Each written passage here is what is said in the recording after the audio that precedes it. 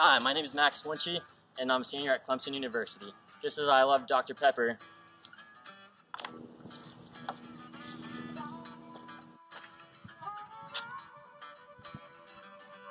I love animals too. Caring for all sorts of animals here, like Starfire, and these pals on our farm solidified my desire to become a veterinarian. As a vet, I hope to not only help animals in need, but people as well. I realized the large impact veterinary medicine had on human well-being when I was fortunate enough to attend pre-vet internship in South Africa funded by Clemson's Honors College. During the trip, we traveled to remote regions and gave medical care to animals that were an essential source of food, income, and companionship for the local people. The USDA has outlined regions that are in severe need of veterinarians, and it is my desire to set up practice in these underserved areas. Unfortunately, the cost of vet school is over $250,000, so finances are a real obstacle between me and my dream.